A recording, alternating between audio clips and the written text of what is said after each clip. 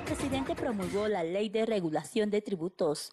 La norma establece una condonación de hasta un 95% de las multas y de los intereses para los contribuyentes hasta noviembre de este año y el 90% hasta febrero del próximo año, además de la reprogramación de las deudas por el pago de impuestos retrasados. Y hermanos ministros, ministras, empresarios, saludo por ese trabajo.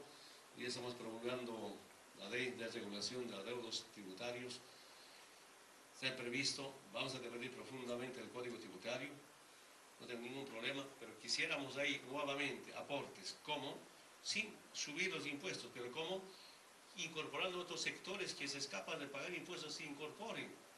No por Evo, no por Álvaro, sino por nuestra querida Bolivia. Ese es el pedido que hacemos. Cómo Bolivia puede seguir creciendo y cómo Bolivia pues, digno, y no como antes, siempre digo antes, era un, un estado limosnero, un estado mendigo. Ahora tenemos un pueblo digno, gracias al trabajo conjunto de todas las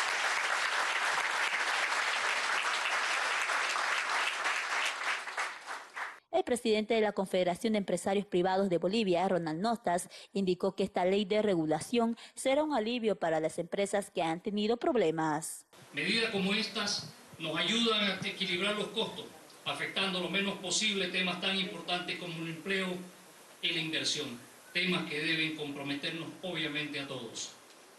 El tratamiento de esta ley nos ha permitido indirectamente reiniciar un proceso de diálogo que tanto el presidente como el sector empresarial hemos asumido como un desafío fundamental para avanzar en la solución de una serie de temas que nos permitirán seguir aportando al desarrollo de nuestro país.